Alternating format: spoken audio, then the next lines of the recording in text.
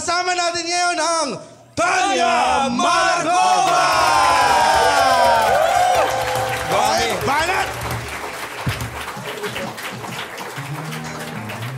Good evening, guys. It's the most uh, charismatic song ever.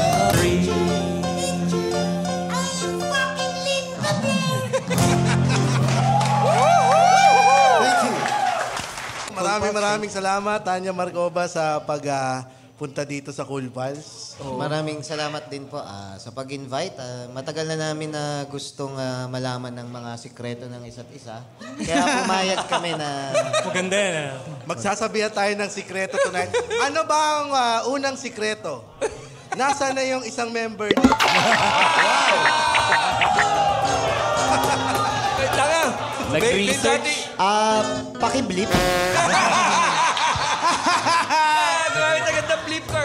Ito yung showbiz na sagot, syempre. Si Norma Love po ay ah, busy.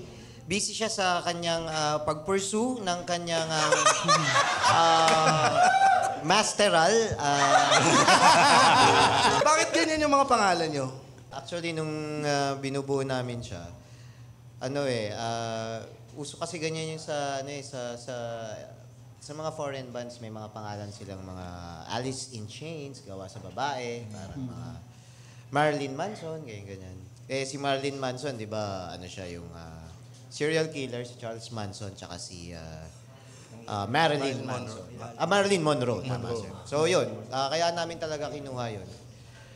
Ah, yun yung tugtugan namin dati. Hindi kami pop, talagang ah, Metal. Metal talaga kami. Ah, yun talaga yung tugtugan namin. Ah, kaya rin nag-face paint.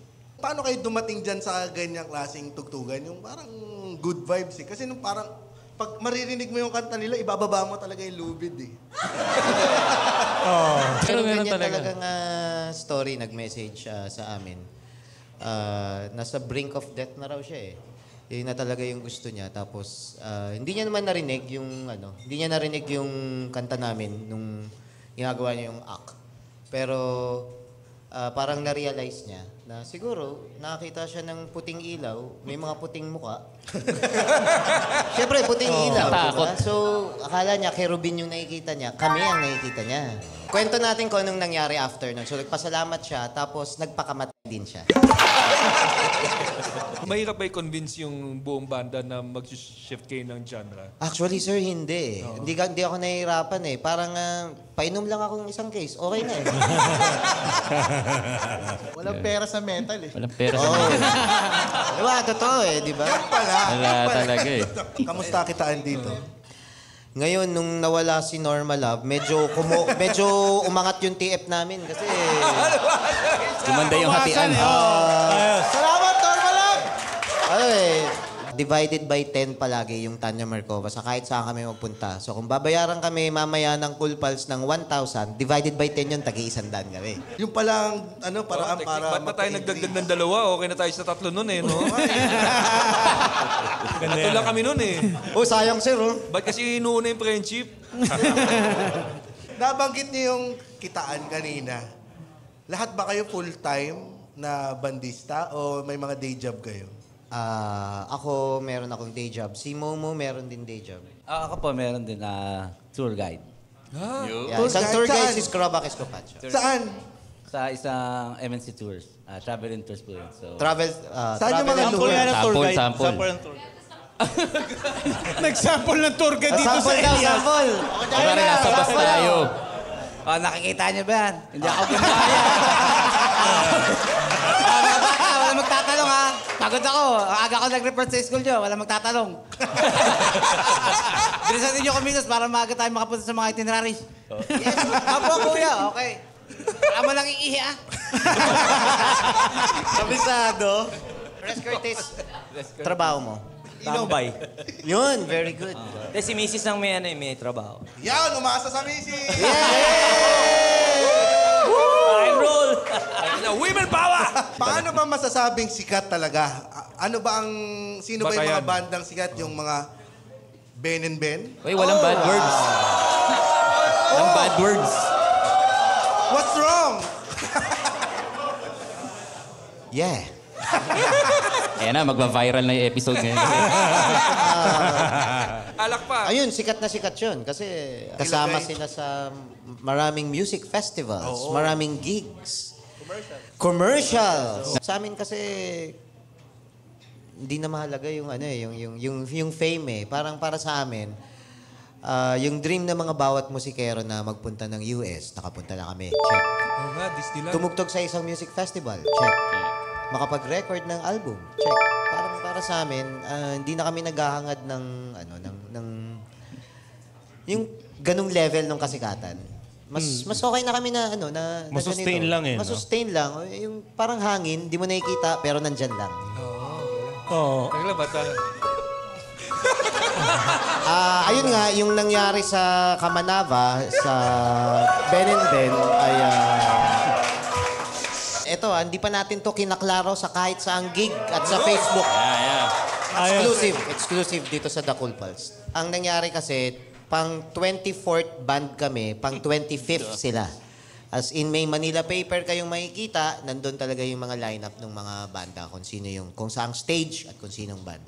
So, nung nakikita, sinabihan na kami ng organizer, medyo chaos na yung nangyayari talaga dun sa Kamanava kasi ah, di ko lang kung sino yung nag-extend eh. May na-extend na nagkaroon ng talk yung isang ah, politician na-extend siya na na-extend. So, nausog din yung mga banda. Eh, ngayon, may, may mga lagari din yung iba eh. Tapos, kanina pa naghihintay. Kami, 5 p.m., nandun na kami. Nakasala kami ng 2 a.m. yata. So, sobrang tagal yung inintay namin. May isang beses doon na tinawag, tinawagan kami ng organizer. Pinapunta na kami doon sa backstage. Nakita namin nakasampa yung Ben and Ben. Sabi namin, teka, out. pang 25th sila. 24th tayo. Nasa 17 pa lang dapat. So, ang laki nung tinalon. Yung ibang banda rin, nakita namin, nagre-reklamo na rin. Ah, even uh, Mayo, kasabay namin eh. Nauna nga silang nag, ano, eh, nag-back out eh. Kaya nung nalaman namin na wala na, hindi na maglalast yung Mayo, tayo talaga. So, nung, ganun yung nangyari. So, hindi namin alam kung ano yung internal problem nila. So, after nun, kumalat yung issue ah, sa social media, nababash na rin kami. Ang ginawa siguro ng Office of the Vice President ay nag-set up siya ng Zoom meeting kasama ang Ben and Ben. So, ako, si Norma Love, si yung manager namin, and then yung managers nila, at silang buong banda, nasa van sila. Kausap nila kami, papunta yata sila ng ah, Bicol yata with Sponge Cola. Oh, so, papunta silang airport. So habang kausap namin sila sa Zoom meeting yun, sinasabi namin yung side namin. Ah, Ito yung side nila guys, so huwag kayong magalit sa kanila. Sinadya talaga nila yun. De, joke lang. Hanggang sa, Sa susunod! Tinapos na akin. Huwag mo na tapusin. Huwag niyong i-blip. De, joke lang.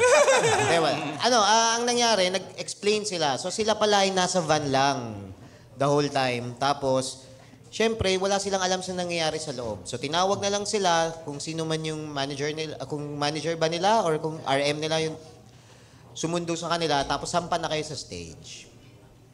So yun, ah, sumampa sila sa stage, siguro akala nila sila na nga yung last band. So tinanggap namin yon, tinanggap namin yung, ah, yung dahilan na yon. Pero, bakit kayo magsasalita ng suportahan natin yung mga susunod na banda? Kung hindi nyo alam na kayo pala yung ah, last. Ay, kung alam nyo na kayo pala yung last. Sinungaling. So, ayun, ganun, ganun yung nangyari. Pwede sa yung reaction ganyan. Sinungaling. Oo. Ah, pero naayos na namin eh. Para lang matapos yung issue. Mahirap sila kalaban, sir. Sikat sila eh. Sa ano? Tsaka mas marami sila sa inyo. Tanya Marcova, Ben and Ben. Oo nga, mas marami sila. Oo eh. Pupukpukin kayo ng violin. Nabawasan pa tayo.